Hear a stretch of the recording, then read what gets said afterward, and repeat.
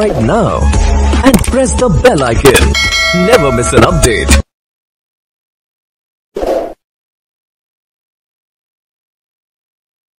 Hi friends, uh, today I come up with a new topic so that is NPCI National Payments Corporation of India. So in this class you will know about what is NPCI and NPCI's regulatory members, basic objectives along with major products and finally some important questions, some multiple choice questions on this NPCA regarding exam point of view. Friends now we will see what is NPCA in first. Friends, this the National Payment Corporation of India. NPCA serves as an umbrella body for the operation of retail payment in India. So this is a umbrella body for all retail payments happening in India. So originally this organization was established by Reserve Bank of India along with some Indian Banks Association. Along with some Indian banks that is all Indian banks together they formed an association no? so this NPCA was established with RBI along with the Indian Banks Association. This NPCA was originally uh, was incorporated in the year of 2008 in the month of December. This NPCA was incorporated in December 2008 but uh, it was originally commenced the business in the year 2009 of April in April month so NPCA was incorporated in December 2008, but the certificate of commencement of business. So the commencement of business uh, certificate they got uh, in the month of April of 2009.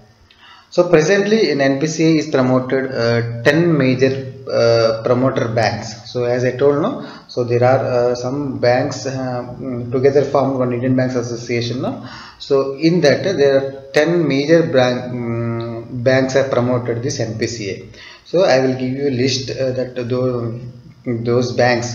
So number one is State Bank of India and Punjab National Bank, Canara Bank, Bank of India, Union Bank of India and uh, Bank of Baroda. So these are the all public sector banks along with some other private sector banks also. Uh, when it comes to private sector banks, ICICI Bank, HDFC Bank, Citibank and HSBC Bank. So some private sector banks, some public sector banks. Both banks are promoting this NPCA along with Reserve Bank of India. So that was about NPCA. Now when it comes to regulatory members of this NPCA, so basically NPCA uh, is an initiative of Reserve Bank of India as I told and it is the Indian Banks Association. So its immediate payment services IMPS has enabled India to become the leading country in the world in real-time payments in the retail, sector. So when it comes to uh, headquarters of this NPCA, it is Mumbai and uh, this NPCA is an organization registered under Section 8 of Companies Act 2013. So when it comes to regulating of board, so the regulating board of this NPCA consists of uh, one non-executive chairman and nominees of Reserve Bank of India and nominees of 10 uh, core promoters. As I told you, there are 10 uh, banks are promoting uh, this NPCA. No? So for regulating this NPCA, one non-executive chairman will be there and one nominee from Reserve Bank of India and 10 nominees from 10 promoter banks. So currently uh, Biswamohan Mahapatra is the non-executive chairman of this NPCA and when it comes to uh, present MD and CEO of this NPCA his name is Dilip Asbe. So Dilip, Dilip Asbe is the present MD and CEO of this NPCA. So I'll repeat once again. So when it comes to regulatory members of this NPCA, so there will be a uh, three members will be there. One non-executive chairman and nominee from Reserve Bank of India and nominee from 10 uh, promoter banks. Out of this, one MD and CEO will be there. So presently, our MD and CEO name is Dilip Asbe and non-executive chairman of uh, this NPCA, Biswamohan Mahapatra. When it comes to basic objectives of this, this NPCA, so the NPCA was under the support of RBI and Indian Banks Association. So with an aim of consolidating and integrating various systems into nationwide uniform and standard business process. So that can be used as retail payment system. this um, NPCI it was supported as I told RBI and Indian Banks Association. So the main aim of this NPCA is to consolidating and integrating various systems into nationwide uniform and standard business process that can be used as a retail payment system. So another major object of this NPCI was facilitating an affordable payment system. So another major object of this NPCI is facilitating an affordable payment system that can help the common people during financial inclusion. So that is why now we are using Google Pay, PhonePe, Paytm, all these are came, these apps are because of this uh, the main object of this NPC is that is that one only. So they are saying it should reach common people. So common people should come under financial so under the payment uh, system settlement act that 2007 so as per the authorization of this reserve bank of india so npca can operate the many payment systems npca can operate many payment systems so we'll see what are the payment systems NP, uh, npca is operating npca operating around six uh, uh, payment systems so number one is national financial switch we'll call it as nfs and IMPS. We regularly are using IMPS no in mobile banking. So that is immediate payment system. So this system, this payment system also handling by NPCA. And affiliation of RuPay cards. So many of you using uh, RuPay cards now. So that RuPay debit cards and prepaid cards and credit cards now. So this affiliation of RuPay cards is issued by um, banks and co-branded uh, credit cards now. So by NBFC is also issuing these uh, RuPay cards and uh, next one is national automatic clearing house so this clearing uh, um, uh, clearing house will be the you know, national automatic clearing house so this also uh, this payment system also handling by npca only and aeps this is the biggest revolution. So after 2014 it is Aadhaar enabled payment system. It is reaching uh, to every common people for getting their dbts data benefit transfers. So this Aadhaar enabled payment system also handling by npca and last one is operation of check truncation system. This check truncation system also now handling by this NPCI payment system only. So these all uh, payment systems are uh, comes under the act of uh, PSS act that is payment settlement system act. It was act established in the year 2007 so PSS act in 2007 so this is a, these are the basic object of this NPC. what I told? So the main aim is for consolidating and integrating various systems into nationwide uniform and standard business process that can be used as a retail payment system and also and also affordable payment system that can help the common people during financial inclusion. So the major, major object of this NPCA was facilitating an affordable payment system that can help the common people during financial inclusion.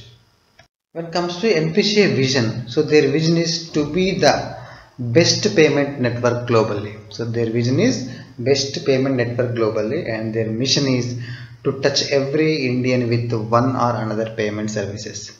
So as I told, NPCA aim is mainly to reach common people for their financial inclusion. So in that context, their mission is to touch every Indian with one or other payment services. So when it comes to NPCI uh, overall vision, that is passion for excellence and integrity, customer centricity, respect, collaboration, all these are the, their other visions.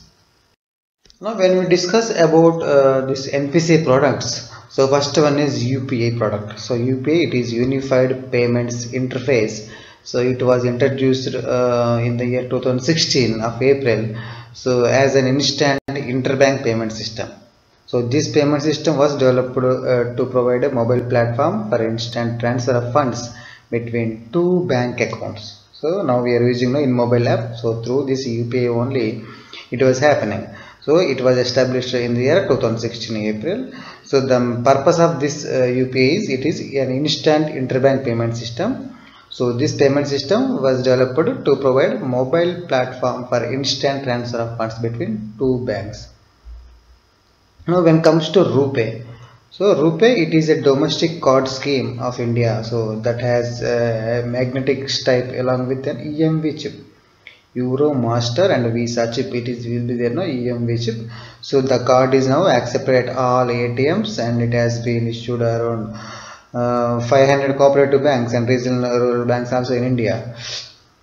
So now uh, government is going given instruction to every uh, public and private sector banks to issue RuPay cards. So they are getting insurance also for availing RuPay card. So under Jan Dhan Yojana accounts, so every Jan Dhan Yojana account holder should get this RuPay uh, debit card. Now when comes to BHIM, Bharat Interface for Money. Its abbreviation is Bharat Interface for Money. So this BHIM, it is a mobile payments application. So it is based on NPA's Unified Payments Interface. It is uh, this BHIM works on this UPA platform only. So it provides the facility to easily send or receive money from the customers using UPI ID. So under this UPI payments interface now one ID will be generated through that ID this BHIM users can receive or can send the money. Now when comes to NACH National Automated Clearing House so in this also so that automating clearing the check truncation system and check uh, clearing system also developed through this unified payment interface UPI only. So it works also under NPCA now when comes to this uh, Bharat Bill Pay, so this Bharat Bill Pay, it is an initiative taken by NPCA along with Reserve Bank of India for payments of all bills like your utility bills like what you can say electricity bill, gas bill, insurance bill. So what are the bills? Uh, mobile bill and Wi-Fi bill. So everything. So under this uh, Bharat Bill Payment System, this NPCA uh, along with the Reserve Bank of India the payment of all bills which will be provided an interoperable and accessible bill payment service to all customers. So the Bharat Bill Payment System it is an initiative taken by our NPCA along with RBI for payment of all bills which will provide an interoperable and accessible bill payment services to its customers. So these are the basic products of NPCA.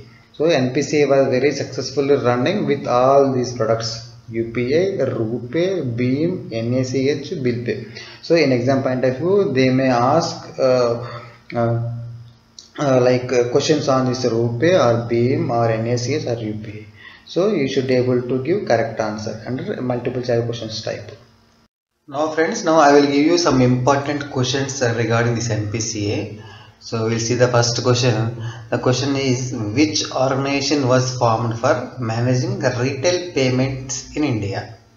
For retail payments, which organization was formed in India? So the answer is it is National Payments Corporation of India. So it is basically managing retail payments, managing all retail payments in India. Now when we see the next important question regarding NPCA, NPCA has been incorporated under which act of Companies Act 2013? So under which not act under which section? So NPCA has been incorporated under which section of Companies Act 2013? So we'll see the answer. The answer is it is section 8 of Companies Act 2013. So friends as you know already in the beginning of this lecture I told NPCA was incorporated in the year 2009 no?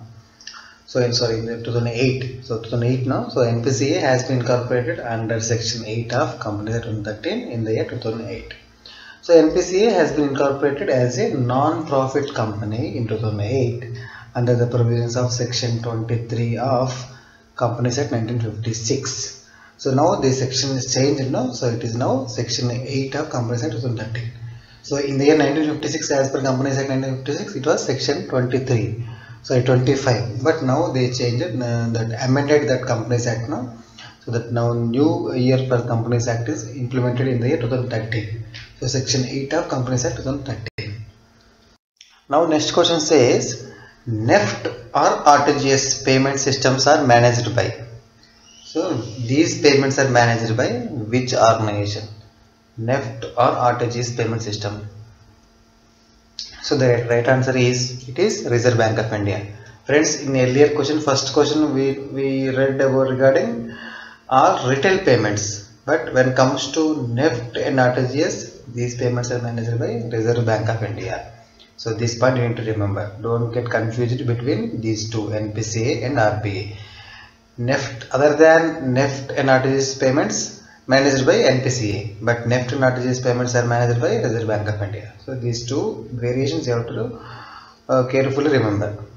Now next question says how many core promoter banks of npca how many core promoters banks of npca so as i told you npca promoting by some of the banks in india now so there are 10 core promoter banks they are promoting this uh, npca there are 10 banks 10 banks promoting this npca so i will repeat names of those uh, banks. State state bank of india punjab national bank canara bank bank of baroda union bank of india and bank of india. So these are the public sector banks. Along with public sector banks private sector banks also promoting this npca so in private sector banks first one is icici bank and hdfc bank citibank and hsbc bank. So in public sector category state bank of india pnb canara bank bank of baroda union bank of india and bank of india. When it comes to private sector icici bank hdfc bank citibank and, and hsbc so these are the 10 banks all together form this npca so these banks are promoting this npca friends uh, this was about npca i hope you got some basic idea regarding this npca national payments corporation of india.